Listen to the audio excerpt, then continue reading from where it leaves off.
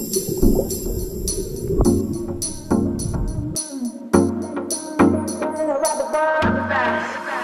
said, hey, you, perfectly on cue at the end of the night.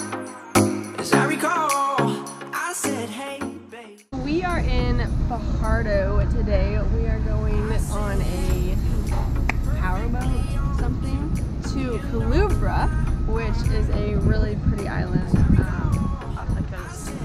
east coast of Puerto Rico. So we have not been there. We're taking a boat there. It takes about 45 minutes, and we booked through Traveler PR, and this is the Tobias Culebra excursion. So it's an all-day thing. They give us food, drinks, and we'll take you along. When you walk my way,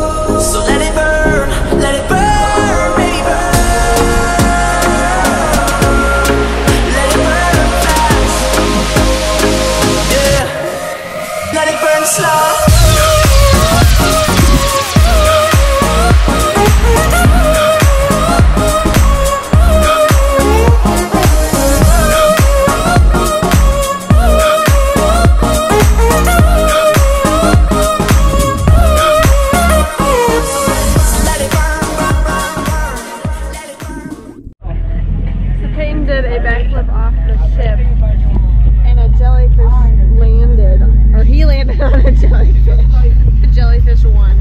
But we're gonna head over to, they said around the corner. I'm not really sure where that is.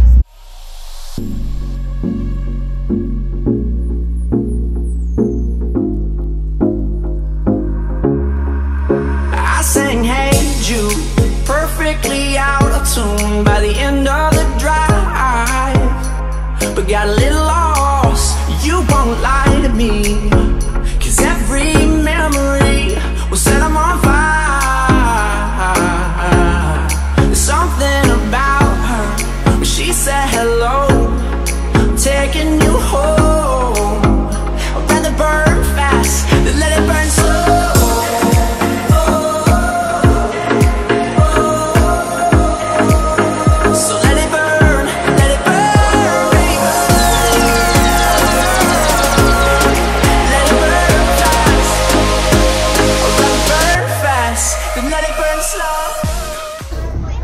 This is Flamenco Beach. It's like one of the most beautiful beaches on in the world, I guess. But it's so blue.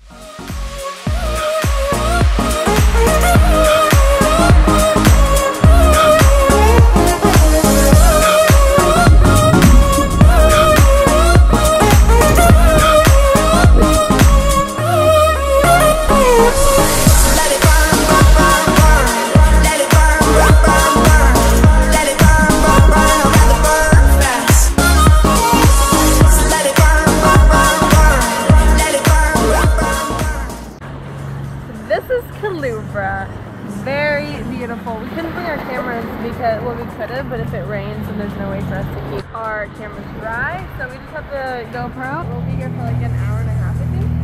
And then we'll head back to Fajardo. You can see an Air Flamenco plane going over right now. So you can fly here. Um, and it's like a four minute flight, I think. It's only 19 miles from Fajardo. Um, so no big deal.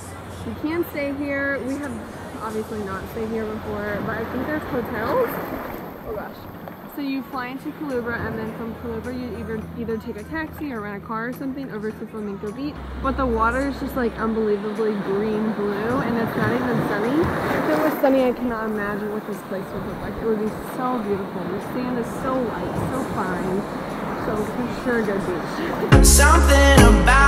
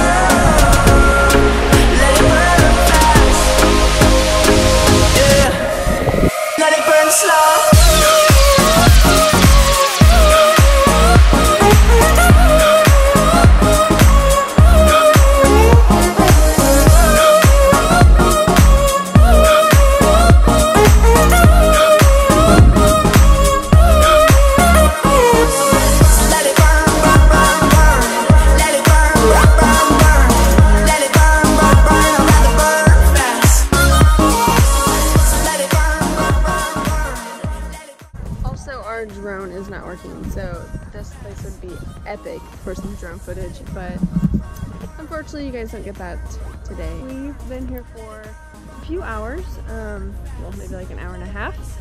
We're gonna head back to Fajardo and go home, let out Penn. We will definitely be back to Flamingo. This is so beautiful.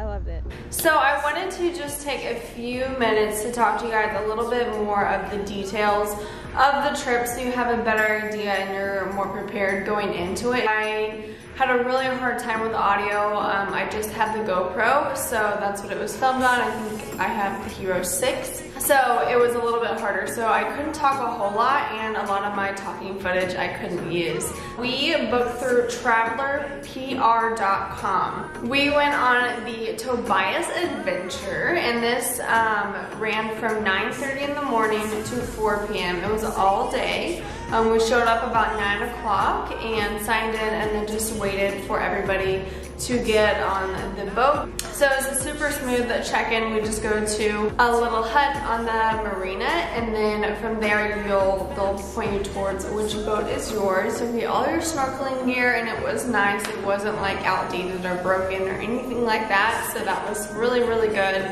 So next is the cost. It was $103 per adult and it's 85 for kids 6 to 12. I'm guessing if they're under six, they're not really allowed. It was a really choppy ride to get out there. We, um, we went in the rainy season in October. So it was it was pretty rainy that day. There was more storm brewing than normal. So I think the waves were probably more than normal.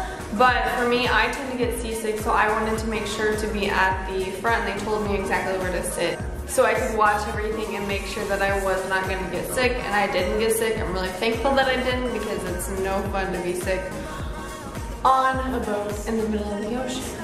So the ride was about 45 minutes to like an hour. Um, it, it, felt like a full hour, but it, I think it was around that 45 minute to hour range. But I'm sure if you go on a day where it is beautiful and sunny and no rain, you're more likely going to have bluer water, more clear water, and then less choppy stuff.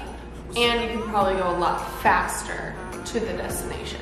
So your experience might be a little bit different. Um, and of course, the conditions of the weather and um, I'm sure like the sea life and stuff like that all depends on where they go. I think there's about uh, four or five different places that they go and they only take you to two of them.